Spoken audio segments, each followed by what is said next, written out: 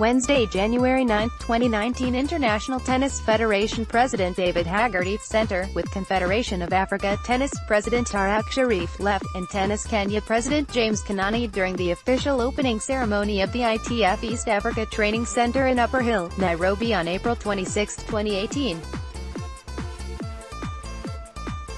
Photo, Chris OMOLLO, Nation Media Group The first batch of the International Tennis Federation ITF, and the Government of Kenya grants have been dispatched. Ed Kenyatta said upcoming tennis players and the public should be able to use the facility in the course of this year when the first phase will be completed. Tennis Kenya had estimated the construction will take up to five years. The first phase of six courts and an administration block that will cost shish 75 million will be completed within a year. Advertisement by AYUMBA AYODI more by this author work at the shish 1 billion Tennis Kenya Center at Kasarani starts April this year. Tennis Kenya TK has revealed on Friday. Tennis Kenya Secretary General Wanjiru Mbugua Friday indicated that the first batch of the International Tennis Federation ITF, and the Government of Kenya grants have been dispatched. While the government has released shish 30 million to the sports fund, Mbugua disclosed the ITF has also released shish 5 million for the project.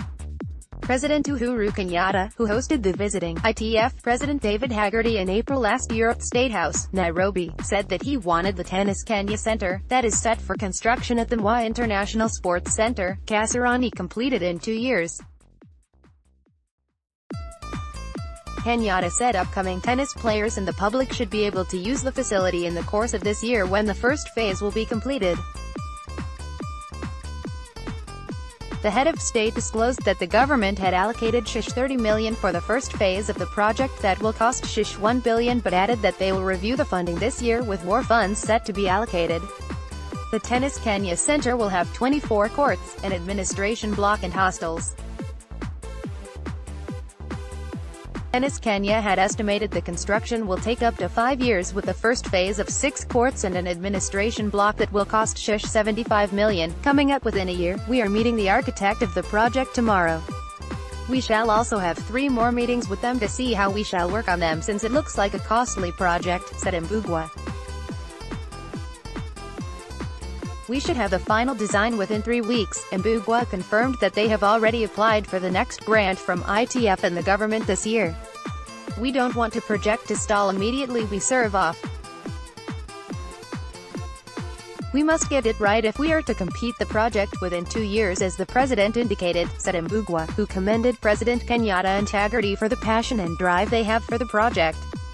While on a two-day tour in Kenya last April, Haggerty, who had opened a regional ITF high-performance center in Upper Hill, presided over the groundbreaking of the Tennis Kenya Center at Kasarani.